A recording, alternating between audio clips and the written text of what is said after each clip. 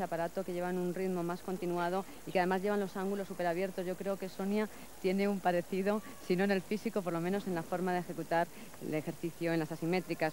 Ahora es el turno Lástima porque ha caído Débora de Miguel. Esa era una de las dificultades que decimos, que influye. Vean, muy difícil el desplazarse. Desde este ángulo no se ve la distancia de las bandas, pero miren, vean ustedes ahora, es, hay que dar un gran impulso para poder llegar a la alta. Y como digo, las gimnastas con una talla baja tienen una enorme dificultad. Aquí se puede quedar corta, pero ha superado bien Lástima porque esa caída son medio punto de penalización. Baja mucho el ejercicio y el disgusto se nota, se aprecia en la cara.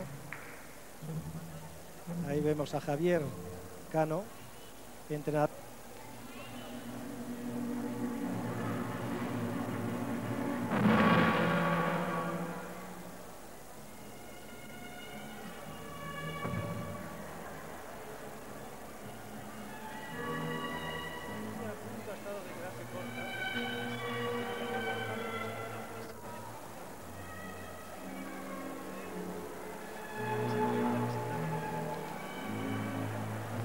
Bueno, pues si Cristina Fraguas conseguía 9.85 en las asimétricas, Cristina era la hermana de Sonia, de la última que hemos visto actuar, porque Sonia ha conseguido la nota más alta, 9.90. O sea, está hay una especie como de rivalidad entre las dos hermanas, pero creo que una pertenece ya a senior y la otra, o pertenecen las dos a juveniles.